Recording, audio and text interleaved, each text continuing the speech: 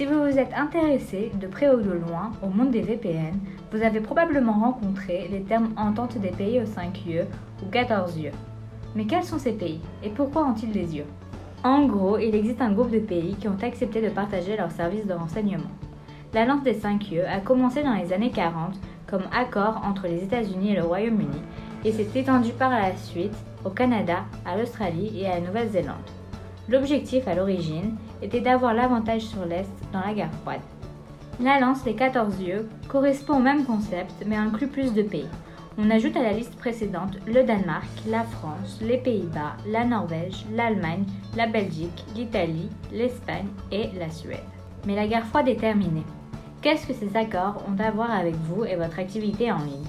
D'après les fuites de la NSA de 2013, fournies par Edward Snowden, ces accords ont été utilisés afin de contourner les lois qui interdisent les pays d'espionner leurs propres citoyens. Du coup, si un fournisseur de VPN stocke vos données, le gouvernement du pays où il est localisé peut légalement le forcer à partager ces informations qui peuvent par la suite être partagées parmi n'importe quel pays des 14 yeux.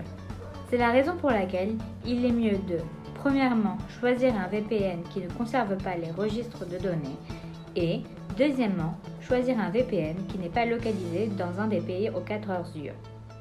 Cliquez sur les liens ci-dessous pour découvrir quels sont les VPN recommandés par nos experts ou pour en apprendre plus sur le fonctionnement des VPN.